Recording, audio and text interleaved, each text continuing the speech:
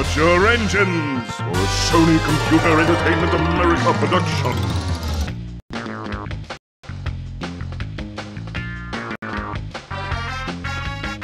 Fasten your seatbelts for another Naughty Dog creation.